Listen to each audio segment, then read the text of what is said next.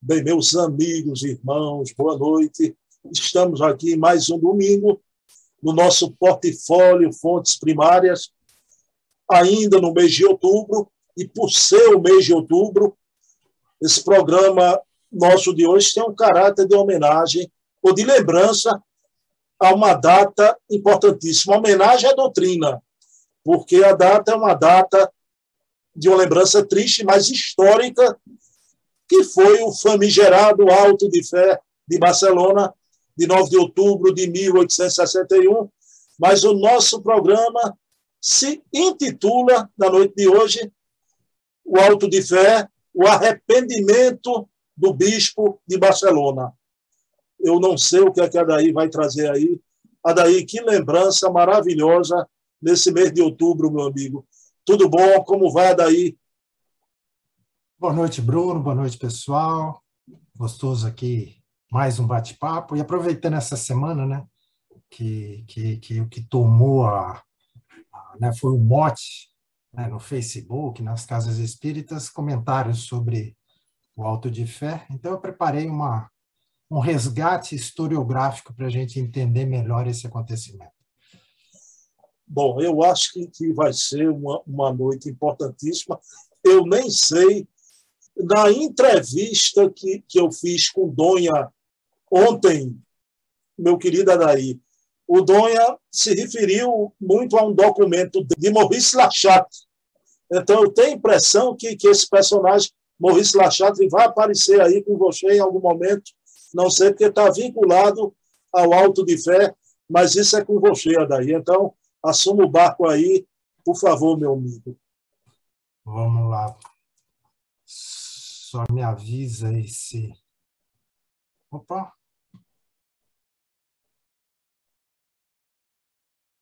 Ai, Bruno, que deu erro aqui.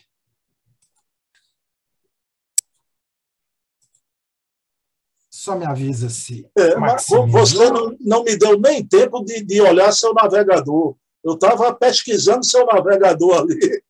Mas tá bom, Adaí, tá certinho. Tá legal? Tá legal. Então, então vamos lá, Bruno. Hoje é o nosso Fontes Primárias número 11. Né? O, o título que eu dei aqui para o nosso bate-papo é Alto de Fé, o arrependimento do bispo de Barcelona. Então, para a gente entender né, todo esse contexto, né, eu trouxe aqui o que, que é o Alto de Fé. Né? É uma cerimônia de penitência pública que foi realizada pela Inquisição, tanto a espanhola quanto a portuguesa, onde estas, né, esses dois países, proclamavam seus julgamentos. Também é um sinônimo de execução, através da fogueira, né, dos hereges. E essa terminologia também ficou conhecida para, para caracterizar, desculpa, a destruição pública de livros ou manuscritos através do fogo. Aí eu trago um, um, uma reprodução aqui, né, de um quadro do século XV que retrata bem, né, um alto de fé. A gente vê aqui livros sendo atirados à fogueira, queimados, né, pelas autoridades da igreja. Então, para a gente entender bem o que foi o alto de fé, você mencionou a data, né, 9 de outubro de 1861, é bem interessante a gente tentar conhecer um pouco o que se passava na Espanha né, no século XIX, nesse período que a gente teve esse acontecimento.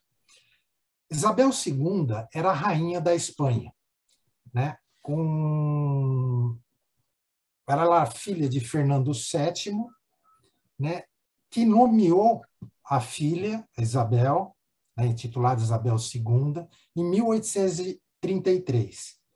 E ela reinou até a sua deposição em 1868. O reinado de Isabel II foi muito conturbado, teve grandes crises, tanto na parte econômica quanto na parte política, né? e no final né, a coisa ficou mais acentuada ainda depois das perdas né, da Espanha na Guerra Hispana-Sul-Americana. Depois da morte do rei Fernando VII, Carlos de Bourbon proclama-se Carlos V, dando origem às guerras civis. E teve vários períodos né, que o reinado de, de Isabel teve problemas com guerras civis. De 1833 a 40, de 46 a 49, e 72 e 76 a Espanha também passou por guerras civis. Praticamente essas guerras civis eram as lutas travadas entre os liberais e os conservadores, né? E essas lutas promoveram, provocaram uma divisão entre as casas reais de Bragança e Bourbon. O Brasil está bem inserido né, nesse contexto histórico. Então, uma das características do reinado de Isabel II foram os numerosos golpes militares. Aí eu trago uma foto né, da Isabel II para a gente contextualizar um pouco.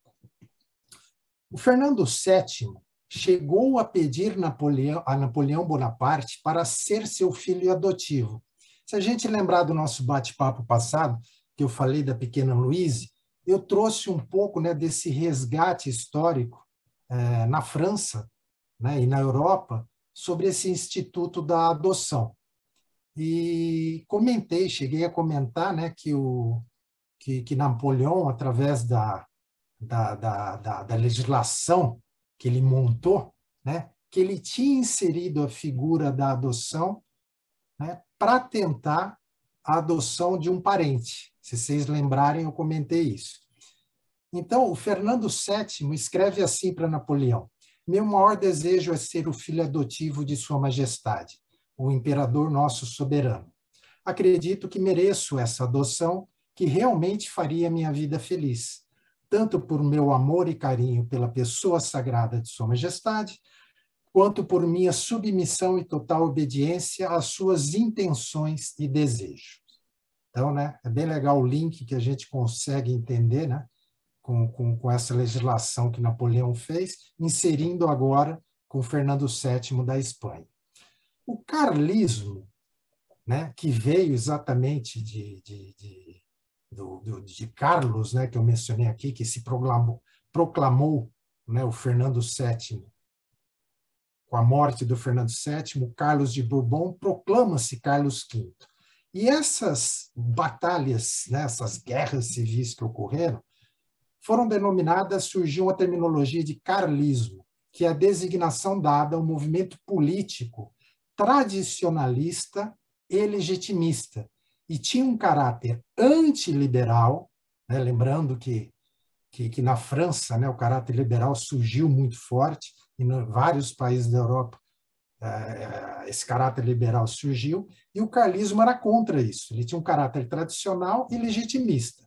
Ele era antirrevolucionário e antimaçônico e apoiava Dom Carlos como legítimo rei da Espanha. Né? Surgiu a partir dos anos 1830, quando Fernando VII declarou a sua filha Isabel como a sua sucessora, contra as pretensões do irmão Carlos Maria de Bourbon. O carlismo sempre defendeu a unidade religiosa da Espanha a legislação de um país deve estar inspirada pela fé que ali se professa. A católica, né, no caso concreto aqui, e que não pode contradizê-la. Então, o carlismo tinha um caráter tradicionalista e absolutista. A defesa da monarquia e da religião católica serviam como os pilares né, da, da, dessa denominação, desse movimento que recebeu o nome de carlismo foi uma resposta ao liberalismo, impulsionado pelos setores mais conservadores da sociedade espanhola. Então, esse movimento começa a agir para derrubar a rainha. Agora, um pouco do que a gente sabe, né? na Revista Espírita de novembro de 61, a gente tem um artigo que é o Alto de Fé das Obras Espíritas em Barcelona. E aí, um trecho que a gente conhece, né? Hoje, 9 de outubro de 61, às dez e meia da manhã, na esplanada da cidade de Barcelona, no lugar onde são executados os criminosos, condenados ao último suplício, e por ordem do bispo dessa cidade, foram queimados 300 volumes e brochuras sobre o Espiritismo. E aí né, o artigo traz uma relação das obras, Revista Espírita, Livro dos, dos Espíritos, entre outros. Assistiram ao auto de fé, né, ainda dentro desse artigo da, da Revista Espírita de novembro de 61. Um sacerdote com os hábitos sacerdotais, com a cruz numa mão e uma tocha na outra. Um escrivão encarregado de redigir a ata do auto de fé, o secretário do escrivão, um empregado superior da administração da alfândega, três servantes da alfândega, entre outros.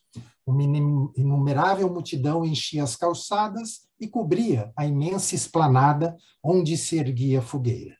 Quando o fogo consumiu os 300 volumes, ou brochuras espíritas, os sacerdotes e seus ajudantes se retiraram, cobertos pelas vaias e maldições de numerosos assistentes que gritavam: abaixo a Inquisição. Várias pessoas a seguir aproximaram-se da fogueira e recolheram cinzas.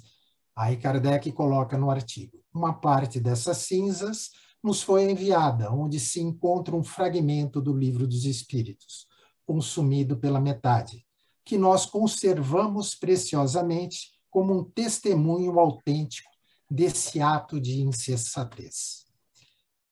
E aí eu começo a trazer, para a gente entender bem o que se passava nos jornais da época, e foram publicados, né, a gente tinha jornais liberais e jornais conservadores. Trago aqui um jornal da França, o Le Siècle, né, que traz a seguinte informação. Esse jornal é de 14 de outubro de 1861. Em todo caso, não seríamos nós que nos divertiríamos neste momento em fazer girar mesas na Espanha. Com esse final de texto, né, que foi colocado no Le Siècle, Kardec faz uma observação.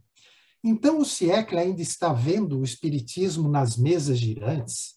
Também ele ainda está suficientemente enseguecido pelo ceticismo para ignorar que toda uma doutrina filosófica eminentemente progressiva saiu dessas mesas de que tanto zombam. Então a gente vê o problema que Kardec sofreu em 1861 na Espanha, a gente vê que problema que passava a Espanha naquela época, né? uma luta entre liberais e conservadores para a tomada do, do poder. A gente tinha jornais liberais, jornais conservadores e jornais da própria igreja. Então, eu trago também a Revista Espírita de dezembro de 61, onde Kardec menciona as informações que constam nos, nos jornais. Os jornais espanhóis não foram tão sóbrios de reflexões quanto os jornais franceses sobre esse acontecimento. Aí ele traz, nesse artigo Alto de Fé de Barcelona, agora na Revista Espírita de dezembro de 61, ele traz um trecho, esse que saiu nesse jornal lá, as novidades.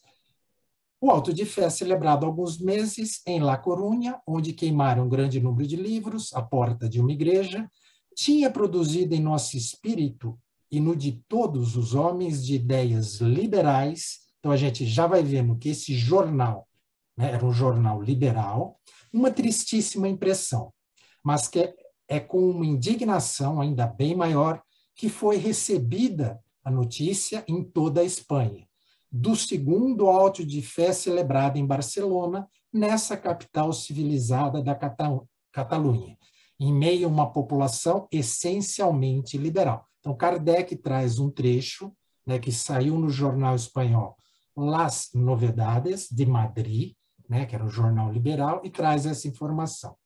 O Diário de Barcelona, um jornal ultramontano, o que, que é o ultramontano? Era a doutrina política católica, que busca em Roma sua principal referência. Foi o primeiro a anunciar o auto de fé, dizendo: os títulos dos livros queimados bastavam para justificar a sua condenação. É direito e dever da Igreja fazer respeitar a sua autoridade, tanto mais quando se dá mais latitude à liberdade de imprensa. principalmente nos países que gozam da terrível chaga da liberdade de cultos. Então, a gente vai vendo os pensamentos dos vários jornais liberais, né, e os ultramontanos e os conservadores, com relação a esse acontecimento de 9 de outubro. O La Corona, que é o jornal de Barcelona, faz respeito a essas reflexões, ao jornal liberal. Esperamos que nosso colega O Diário, que tinha dado a notícia, tivesse dado a bondade de satisfazer a curiosidade do público, seriamente alarmado por semelhante ato. Incrível nos tempos em que vivemos, né? foi em vão que esperamos as explicações. Ou seja, o jornal diário deu a notícia, mas não trouxe nenhuma explicação. Aí o La Corona faz as vezes né, e traz as explicações. Desde então, temos sido ressaltados por perguntas sobre esse acontecimento. E, a bem da verdade, devemos dizer que os amigos do governo, com isso, sofrem mais penas do que os que lhe fazem oposição. E com o objetivo de satisfazer a curiosidade, tão vivamente excitada, né, que foi colocada pelo que lê jornal o diário, pusemos-nos em busca da verdade. E temos o pesar de dizer que o fato é verdadeiro e que, com efeito, o auto de fé foi celebrado nas seguintes circunstâncias. Foram apresentados ao controle da alfândega os livros acima, e foi dito ao comissário que não podiam ser expedidos sem permissão do senhor bispo. O senhor bispo estava ausente. À sua volta, apresentaram-lhe um exemplar de cada obra e, depois de tê-los lido ou mandado ler por pessoas de sua confiança, conformando-se com o julgamento de sua consciência, ordenou fossem lançados ao fogo, pois eram imorais e contrários à fé católica. E aí a crítica do jornal. O absolutismo é muito sagaz. Ele tenta dar né, um quê de autoridade em qualquer parte. Se é bem sucedido, ousa mais. Contudo, que os esforços do absolutismo sejam inúteis e que todas as concessões que lhe fazem não tenham outro resultado senão o de desmascarar o partido que, renovando cenas como a de quinta-feira última, se precipite cada vez mais no abismo para onde corre às cegas. É o que nos leva a esperar o efeito produzido pelo Alto de Fé de Barcelona. Isso consta na Revista Espírita de dezembro de 61. E agora eu trago jornais para vocês. Esse é o jornal La Coruña, Corona, perdão, de 11 de outubro de 1861. Esse jornal ficava em Barcelona e ele traz as notícias sobre o Alto de Fé, né, com as devidas críticas nesse exemplar. Num outro jornal do dia seguinte, 15 de outubro de 61, traz um vasto editorial mencionando o alto de fé, aqui em cima, apresenta a relação das obras que foram queimadas, né, e faz críticas né, ao governo e à igreja pelo que aconteceu. E aí, no final desse artigo uh, de Barcelona, que quem assina é Romain de Lacunza, né, eu só vou ler um trechinho, é assim que nos fazem esperar o efeito produzido em Barcelona por esse auto de fé. Paródia ridícula do poder de uns homens é, que se colocam como um tribunal por meio de, de acusadores desconhecidos, né, para ficarem em paz, os incomodam para condenar a fogueira por meio de juízos secretos.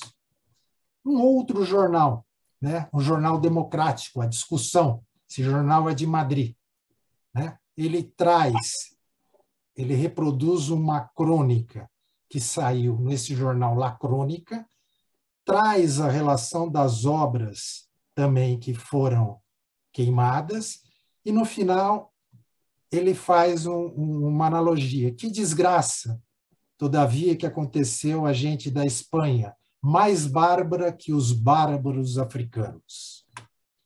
Um outro jornal, o La Ibéria, do dia 16 de outubro de 1861, esse jornal é de Madrid. a mesma coisa fazendo referências ao alto de fé, mencionando né, o colega La Corona e fazendo as críticas devidas ao ato que aconteceu. Um jornal, La Regeneração, que é um diário católico, que saiu dez dias depois, em 19 de outubro de 61.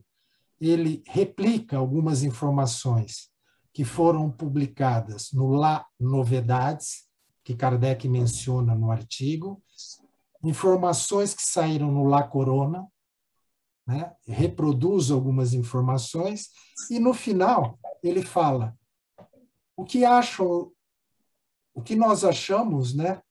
É, o mesmo que os leitores do La Corona e La Novidades, que deveriam estar rindo sobre os artigos ou os artigos que foram trazidos pelos jornais. Esse é o Diário Católico, né, La Regeneração.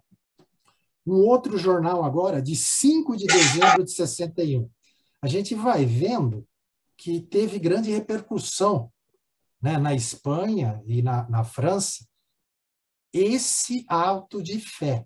Né? Por quê? A, a Espanha vivia um momento muito delicado entre liberais e conservadores. E esse episódio né, provocou críticas e provocou embates severos entre os jornais, tanto liberais quanto conservadores. É, e aqui um trechinho que traz esse La Época, né? O auto de fé se verificou né, e joga a culpa agora que na aduana, né, que foi em virtude de um ato administrativo e não por uma decisão do bispo.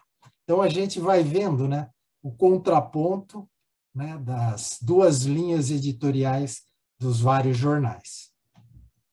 Outro jornal, do dia 7 de dezembro de 61, o El Contemporâneo, né? Um periódico ministerial de Paris, tentou justificar que o governo espanhol procedeu ao auto de fé, né, dos livros verificados em Barcelona, pelos seus argumentos. Né, ele traz de novo que isso seria por uma lei administrativa e não como consequência de uma decisão episcopal. Singular justificativa, né, que é dado pelo periódico ministerial de Paris aqui, né? Ele está fazendo uma crítica de um periódico de Paris que tentou justificar que aquele ato foi uma decisão administrativa, problemas aduaneiros, e não por uma decisão né, da igreja. Aí ele menciona singular justificação exclama a empresa francesa. Se há querido desejar a salvo do fanatismo religioso, né, e jogar a culpa na administração.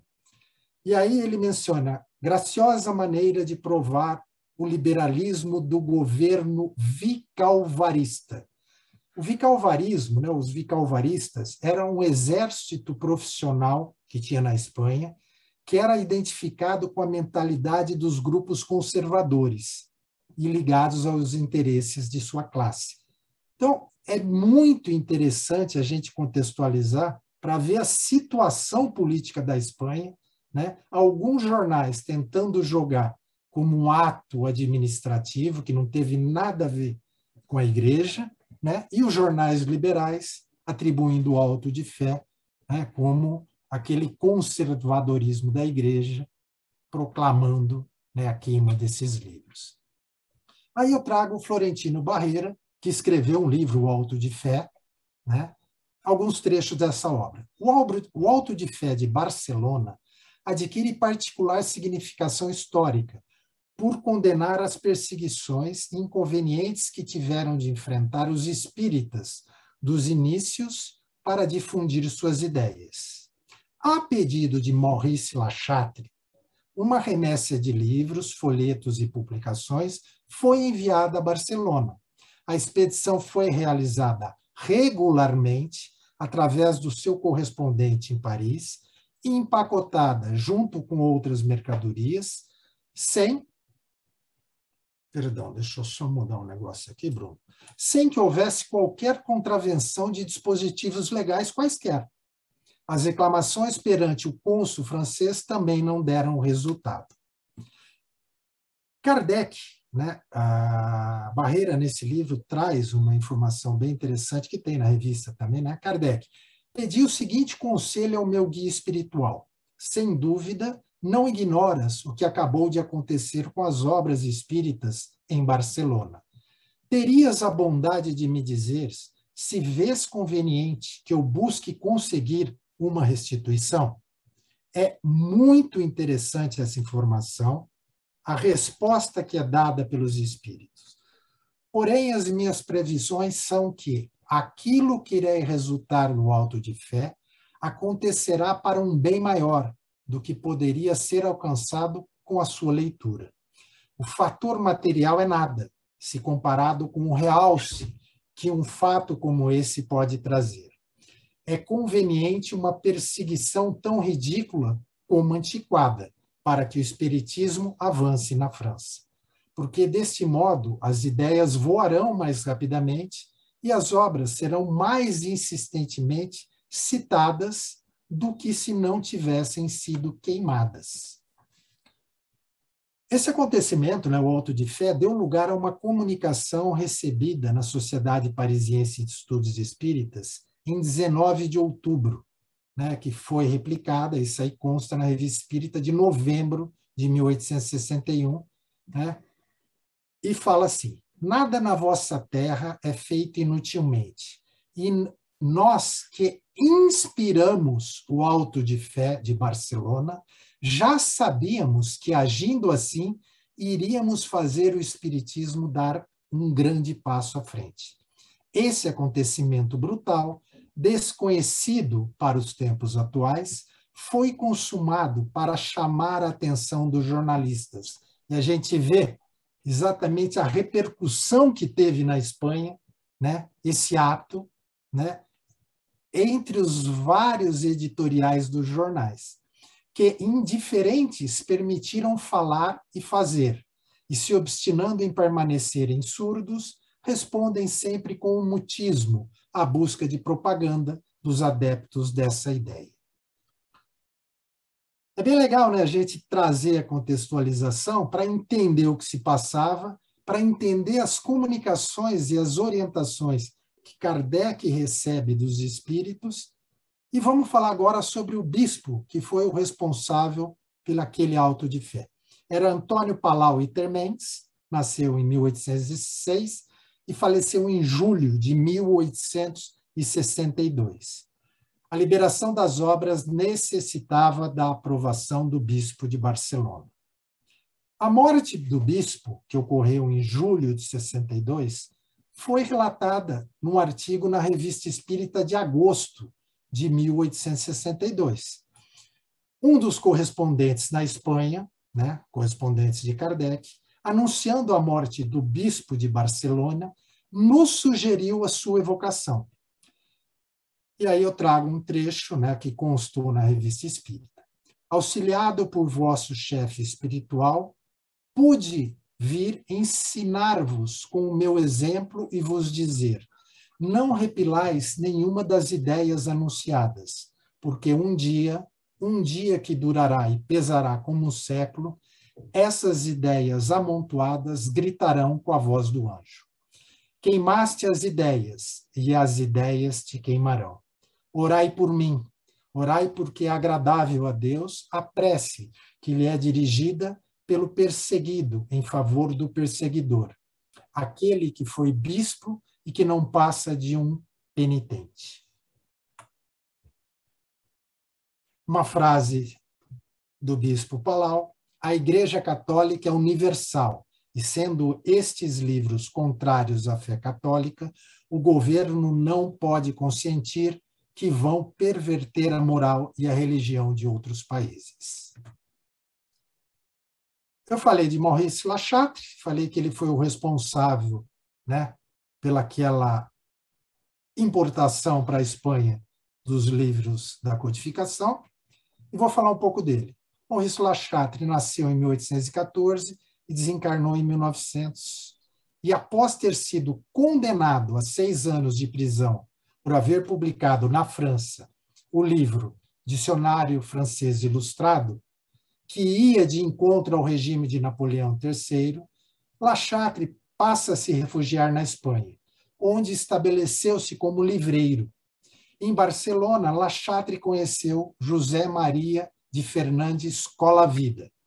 La Chatre foi escritor, ilustre humanista, filólogo, filólogo, perdão, livreiro e editor.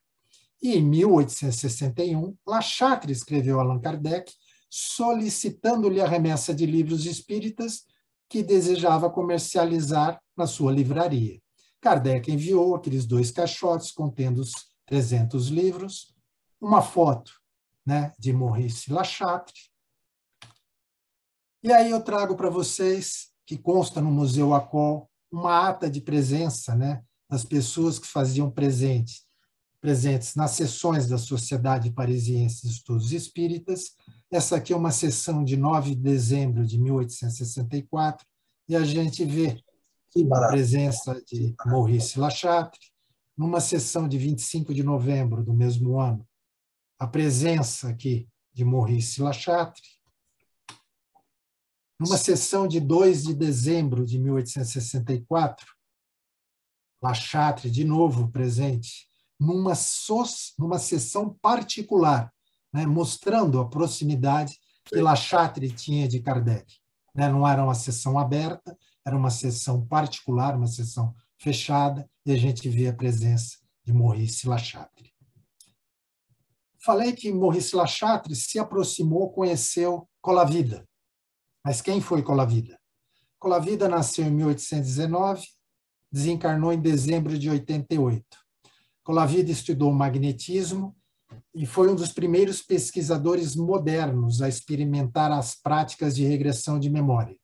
Conheceu a obra de Kardec em 1857, já com a publicação da primeira edição do Livro dos Espíritos, e após trocar correspondências com Kardec, traduz para o espanhol, no final de 63 ou 1864, a obra O Livro dos Espíritos.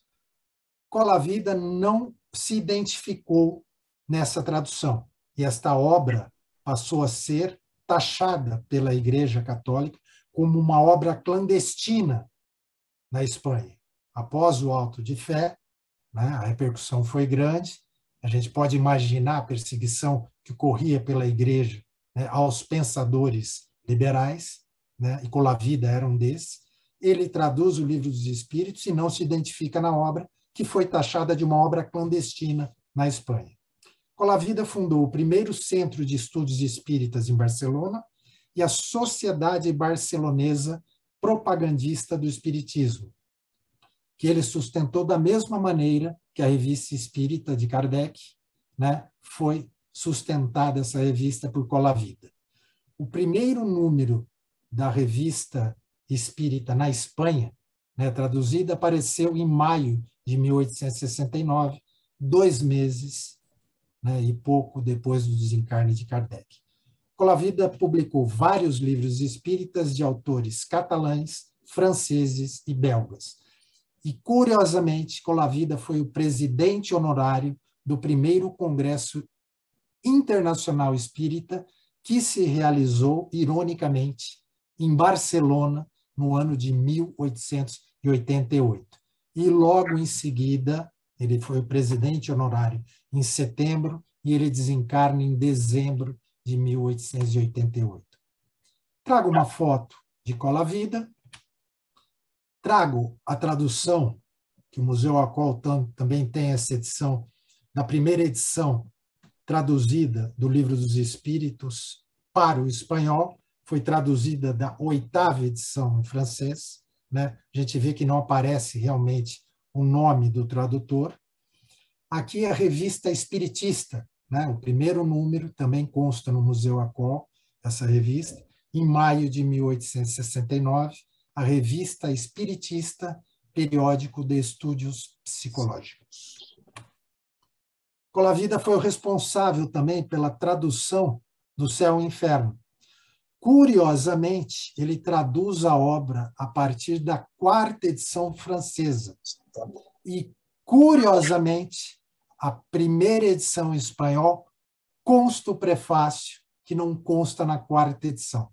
Uma curiosidade que eu trago.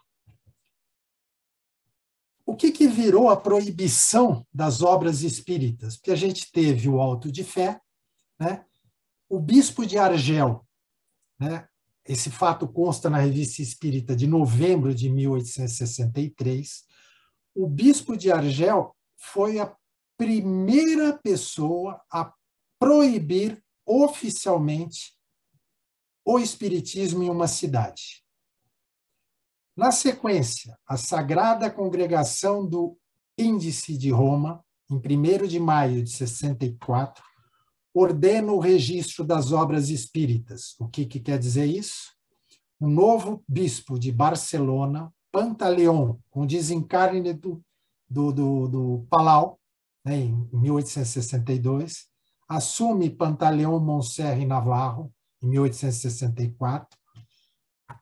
Ele lamenta, né, em uma ordenança, em um comunicado que ele faz, que apesar do zelo das autoridades, a introdução fraudulenta do Livro dos Espíritos, que Cola Vida traduziu para o espanhol, de Allan Kardec, primeiro propagador de tais mentiras, acabasse sendo traduzido para o idioma eh, espanhol. Na Revista Espírita de junho de 64, no artigo O Index, o Index da Cúria Romana, né, onde são proibidas, né, foram incluídas as obras do Espiritismo, alguns títulos, né, no Index proibitório, e Allan Kardec escreve que a data de 1 de maio de 64 seria marcada nos anais do Espiritismo, igualmente como a que ocorreu em 9 de outubro de 61, com Alto de Fé. A decisão da Sagrada Congregação do Índex incluiu as obras do Espiritismo. Foram todas? Não. Naquele momento, incluiu a Revista Espírita, o Espiritismo na sua mais simples, na sua expressão mais simples, o Livro dos Espíritos, o Livro dos Médios. Estas obras foram mantidas lá até a sua última edição, em 1948, pelo Papa Pio XII. E, portanto, permaneceram assim até que em 1966 né, houve a abolição do índex pelo Papa Paulo VI. Então, olha o percurso né, que as obras espíritas percorreram né, Kardec enfrentando problemas, mesmo dentro da França, né, com jornais né, ridicularizando o espiritismo com as, as mesas girantes, o reflexo nos jornais espanhóis, a publicação do Índex Proibitório, em 1876, que incluiu essas quatro obras, e essas quatro obras foram incluídas juntamente com a, obras de Kant e a crítica da razão pura. Trago informações que o CSI do Espiritismo levantou, né, trouxe essas colaborações nessa grande pesquisa colaborativa que a gente tenta fazer, né, do trechos do índice proibitório, né, aonde constaram em 1876, 1881 e 1924. E quais foram as consequências, né, desses vários atos da igreja. Desse, dessa, né, que aqui representa o alto de fé, é, simbolizando a queima dos livros e periódicos espíritas, e o índex proibitório. Kardec mesmo escreve na Revista Espírita de junho de 64 com essa notícia, a maioria dos livreiros se apressou em pôr essas obras mais em evidência. E agora, a grande surpresa que eu deixei para o final: o Museu Acol tem um manuscrito do bispo de Barcelona, datado de 29 de abril de 1864, da médium da senhora Delane, da Madame Delane. Essa comunicação é a caligrafia de Kardec aqui do lado, anotando que a ação deveria ser enviada para o senhor Fernandes Colavida, o que ela foi enviada para Cola Vida em maio de 1864. Esse manuscrito ainda não está transcrito e traduzido, ainda não está na Universidade de, de Juiz de Fora. A gente espera em breve a transcrição e a tradução completa desse manuscrito, mas eu trouxe o finalzinho e transcrevi e traduzi uma tradução livre. Aqui a gente vê a assinatura de Palau, bispo de Barcelona, datado de 29 de abril de 1864, e ele escreve, né, o espírito de Palau escreve: Eu mesmo trarei para vocês um encorajamento que lhes envio. Estarei entre vocês quando vocês lerem estas poucas palavras, para mitigar os erros que cometi durante a minha vida terrena. Esse é o manuscrito completo, trago ele na íntegra, ele é duas partes. Bruno, e era isso, meu querido, que eu trago hoje, tentando trazer um pouco da contextualização, da historiografia, do que ocorreu na Espanha, o que estava acontecendo na Espanha, e o que esse auto de fé provocou para o movimento espírita, e esse manuscrito inédito que é, é fantástico ter chegado até os nossos dias. É isso, Bruno. Meu querido Adair, essa foi a maior homenagem no mês de outubro referente ao auto de fé que seria possível, né? Você revelar aqui um documento desse é impressionante, é uma maravilha, né? É a história ante os nossos olhos. A daí a lucidez, vamos elogiar, porque foi em pouco tempo, né? De desencarnado esse espírito, Antônio Palau, desperta para o mundo espiritual e reconhece imediatamente que esteve em erro, né? E vem pedir uma prece. Isso é muito citado por nós palestrantes, né? Eu estou aqui, esse programa com você, a gente se sente um piegas. Eu não canso de dizer que eu fico emocionado. Semana passada, no dia 9 de outubro, numa palestra, eu citei essa frase dele: peço uma prece, muito vale a prece do perseguido pelo bem do seu perseguidor. Mas há daí duas perguntas que eu tenho para ti. Né? Você citou a mensagem do Espírito para Kardec, dizendo que o mundo espiritual inspirou o alto de fé para que se propagasse a doutrina né, na Espanha, na terra de Cervantes. Mas veja bem, meu amigo, você recentemente falou que você tem no ACOL até mensagens assinadas pelo Espírito de Verdade, não é isso? Tem algumas, sim. Você tem. Aí a pergunta que eu lhe faço, porque é exatamente isso, Kardec viu uma grave questão de direito internacional, mas isso está nas obras, difundido, a gente cita muito também o espírito de verdade diz a ele assim, né? Deixai a ignomínia seguir seu curso, porque será muito bom para a propagação da verdade. Essa frase tão repetida, você tem ela não no ACOL? Não, não. manuscrito não, não existe, não. Bom, aí a, a, segunda pergunta que eu lhe faço, porque não, não me escapou da atenção o Fernando Colavida, o Céu e o Inferno ali, a quarta edição, que ele traduz com um prefácio, o tal prefácio tão falado aí, né, que foi retirado, essa curiosidade. O que é que a daí deduz disso? Essa tradução com o prefácio da quarta edição. Eu já quebrei muita cabeça para tentar alguma explicação, porque a gente vê que com a vida trocava correspondências com Kardec, a ponto nesse manuscrito, né, a letra de Kardec que é ao lado do manuscrito, falando que para enviar, né, o que foi enviado aquele manuscrito para a Vida. Né, isso em 1864.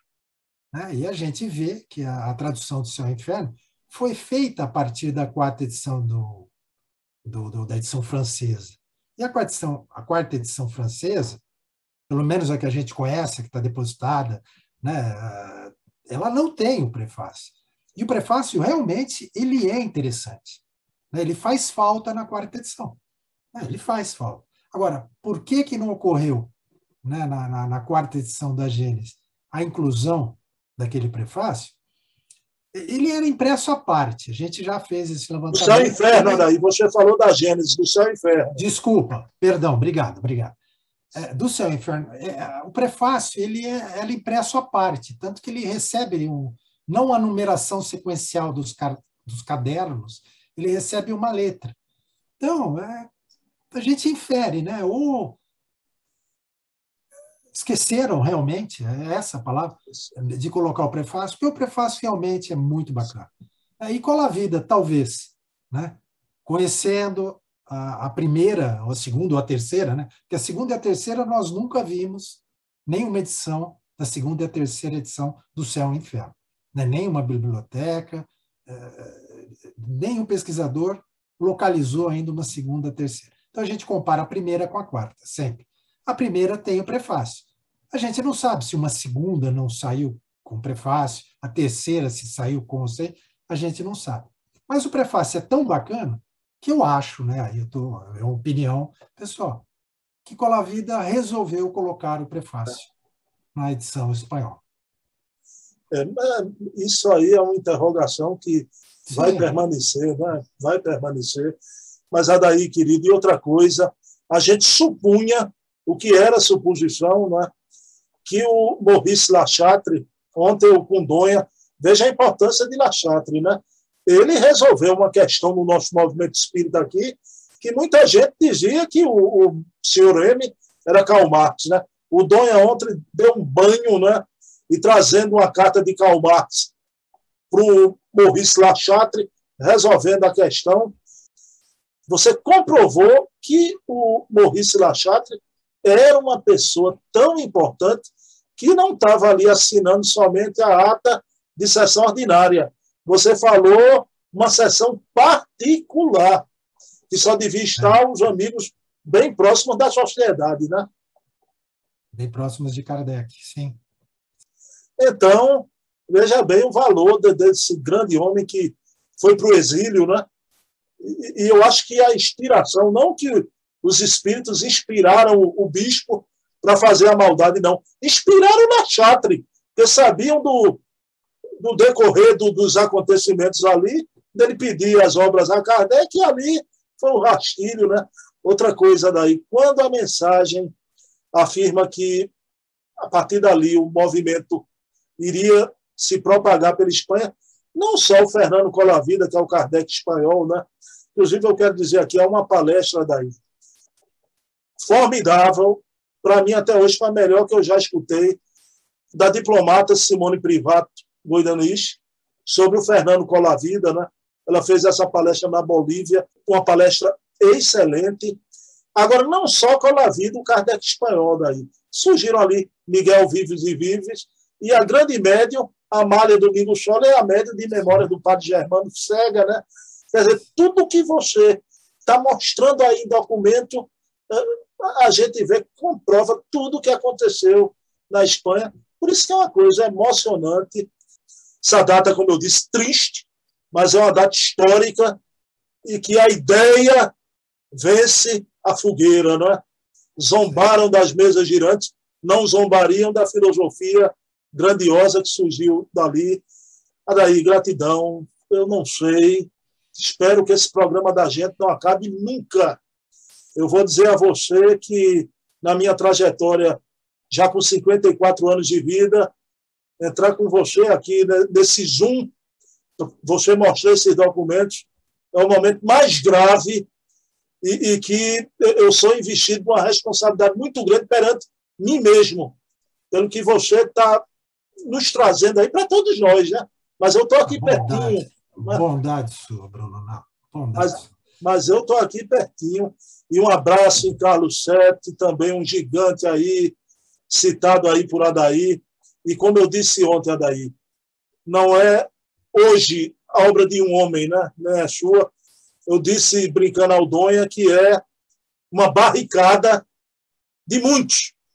Adaí, Carlos Sete, Luciana, é, é, Charles Kemp, Donha e tantos, Lira, Vanderlei, todos que estão nessa barricada, nessa trincheira de trazer isso novamente, né? reviver os dias inesquecíveis, são um momento único, maravilhoso.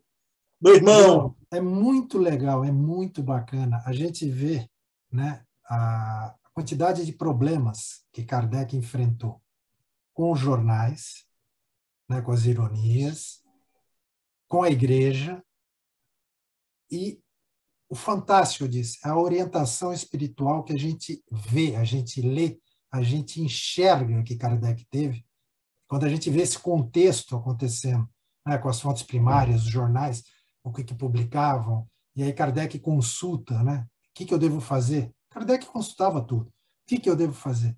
Aí você vê a resposta, e você vê a repercussão nos jornais, e você vê o que virou a quantidade de periódicos espanhóis espíritas que surgiram, né, mostrando que aquilo que os espíritos falavam para Kardec ia se realizar e se realizou, isso é muito bacana.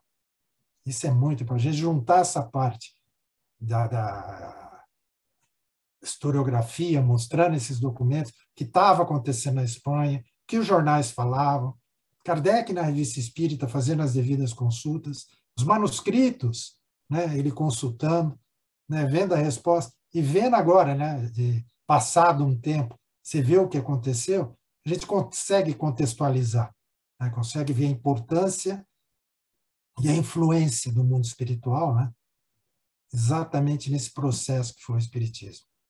E está sendo. Meu irmão, um abraço, viu? Jesus te abençoe.